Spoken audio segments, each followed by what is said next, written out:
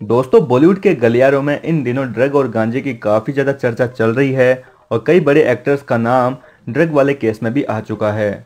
अब दोस्तों, दीपिका पादुकोण को ही ले लीजिए। हाल ही में दोस्तों, दीपिका पादुकोण की तरफ़ से एक बड़ी खबर निकल के सामने आ रही है। जी हाँ दोस्तों, दीपिका पादुकोण एनसीबी के सामने ये एक्सेप्ट करना चाहती है कि वो ड्रग एडिक्ट थी और उसने ड्रग लिया था।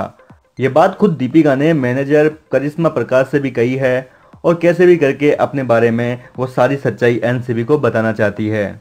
हालाँकि दोस्तों क्वान टैलेंट एजेंसी के कुछ सदस्य दीपिका पर दबाव बनाने के लिए गोवा तक पहुँच चुके हैं और वो किसी न किसी तरह दीपिका पर ये दबाव डालकर उनका मुँह बंद करवाना चाहते हैं। यानी कि दोस्तों क्वान एजेंसी के लोग ये बिल्कुल भी नहीं चाहते कि दीपिका एनसीबी के सामने पूरी हकीकत सामने लाए। क्योंकि दोस्तों, लगभग 50 से भी ज़्यादा एक्टर्स का नाम क्वान एजेंसी के साथ जुड़ा हुआ है और वो सभी एनसीबी के घेरे में आ जाएँगे। खैर दोस्तों, अब ये देखना वाकई दिलचस्प होगा कि दीपिका अगर ये केस कबूल करती है और ये कबूल कर लेती है कि वो ड्रग लेती है तो ये केस कौन सा नया मोड़ लेता है? फ़िलहाल दोस्तों, इस केस से जुड़ी हर अपडेट के लिए आप हमारे साथ बने रहिए। चैनल को अभी तक सब्सक्राइब नहीं किया है तो सब्सक्राइब करना ना भूलें। धन्यवाद।